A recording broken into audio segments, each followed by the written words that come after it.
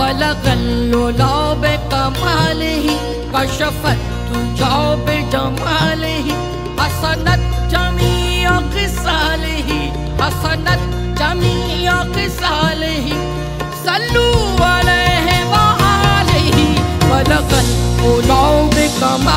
কিন্তু চার প্রকার ব্যক্তি এই রমজান মুবারকে আল্লাহ তাদেরকে মাফ করবেন না কয় প্রকার চার প্রকার ব্যক্তি এক নম্বর হলো যারা মা বাবার সাথে নাফরমানি করে, যারা মেঘেরবান মা বাবাকে কষ্ট দেয়, পরিবার, পরিজন, আত্মীয় স্বজনের কথা শুনে মেঘেরবান মা বাবার অন্তরের মধ্যে আঘাত দেয়।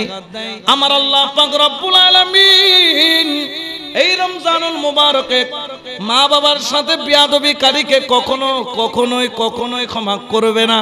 শুধু তাই না, এমনকি সে যদি পুরো রমজান মাস খানে কাবার হেরম শরীফের মধ্যে কাটায়ও। আমার আল্লাহ তার জীবনের গুণাকে মাফ করবেন না। অর্থাৎ কারণ কি? আল্লাহ পাক রব্বুল আলামিন কোরআনে পাকে বলেছেন ওয়াবুদুল্লাহ ওয়ালা তোমরা আল্লাহর ইবাদত করো, আল্লাহর সাথে কাউকে শরীক করো না। এবং তোমরা মেহেরবান মা বাবার সাথে ভালো আচরণ করো। কিন্তু অনেকে আছেন মা বাবার সাথে করেছেন, কিন্তু মসজিদে আসেন মা বাবার সাথে কি করেন? মা বলল, বাবা বললেন একটু বাজারে যাও। কিন্তু বাজার করলেন না। শুধু মা বাবা যদি কুফুরি করতে বলেন, এই কুফুরি করা ছাড়া যা হুকুম করবে তা পালন করতে হবে। এমনকি একজন সিহাবা রসুলে পাক সাল্লাল্লাহু আলাইহি সাল্লামের দরবারে বিচার আনলেন, ইয়া রাসূলুল্লাহ, ইয়া হাবিবাল্লাহ, আমার বাবা মা ভালো না, আমার উপর অত্যাচার করে এবং আমার থেকে শুধু টাকা টাকা টাকা এরকম করে আমার রসুল রেগে গেলেন, বললেন, তোমার মা বাবা যেরকম তোমার শরীরের প্রতিও হক আছে, তোমার অর্থের প্রতিও তাদের হক সবকিছু তোমার মা বাবার, তোমার বলতে কিছুই নাই। এরকম বলেছেন আর কেউ কেউ যদি মা বাবাকে কষ্ট দেয়, আমার রসুল পাক সাল্লাল্লাহু আলাইহি ওয়াসাল্লাম বলতেছেন, যদি আপনি যদি 100 বার হজ করেন, আপনার একবারের হজ আল্লাহর দরবারে কবুল হবে।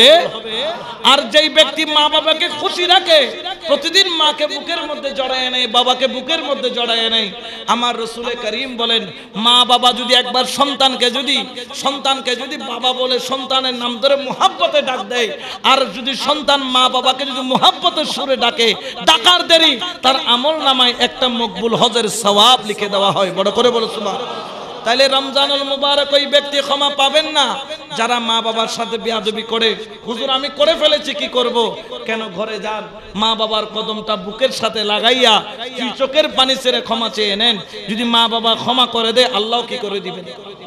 দুই নম্বর হলো, ওই ব্যক্তি যারা মদ্যপান করে, মদ পান করে যারা আল্লাহ পাক রব্বুল আলামিন।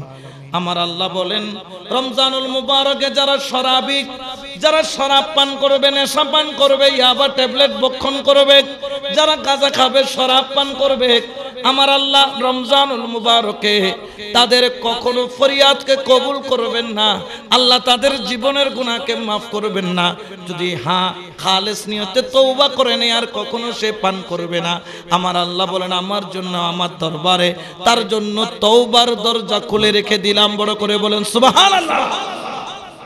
তিন নাম্বার হলো ওই ব্যক্তি যেই ব্যক্তি আত্মীয়তার সম্পর্ক নষ্ট করে আত্মীয়তার সম্পর্ক নষ্ট করে ও আন জুবাইর ইবনে মুতরিমিন রাদিয়াল্লাহু তাআলা قال قال رسول الله صلى الله عليه وسلم لا يدخلن الجنه قاطع যে ব্যক্তির সম্পর্ক ছিন্ন করে আল্লাহ কখনো তাকে জান্নাতে দাখিল হতে দেবেন এই জন্য যারা রমজানুল মুবারকের রোজা এবাদত বন্দিগি কবুল হবে না, কাদের? যারা জান্নাতের সার্টিফিকেট পাবে না কারা?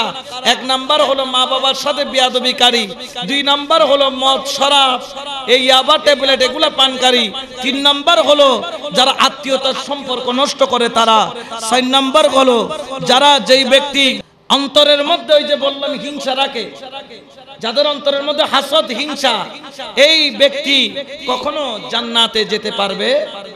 এই চার প্রকার ব্যক্তি। আল্লাহ যাদের জন্য রমজানুল মুবারকে, যাদের তৌবা যাদের ফরিয়াদ আল্লাহ কবুল করবেন না, এই জন্য আজকে থেকে আল্লাহ পাক আমাদেরকে তৌবাকারীর কাতারে সামিল করুক, আমিন।